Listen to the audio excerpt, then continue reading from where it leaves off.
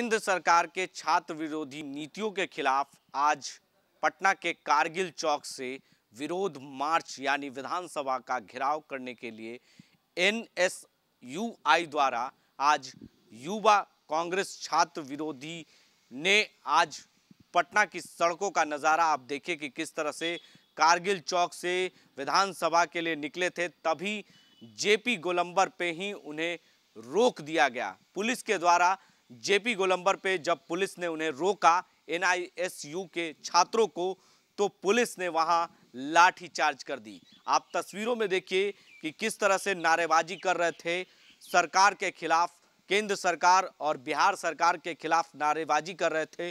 रोज़गार और केंद्र सरकार के छात्र विरोधी नीतियों के खिलाफ ये गोलबंद होकर पटना की सड़कों का ये नज़ारा है। कि विरोध करने के लिए विधानसभा का घेराव करने के लिए जब निकले थे, तभी उन्हें पुलिस ने वहाँ जेपी गोलंबर पे ब्रिकेट लगाकर रोक दिया। उसी वक्त छात्र जो है उग्र हो गए और जब उग्र हो गए तो छात्र के ऊपर पुलिस ने लाठीचार्ज कर दी है।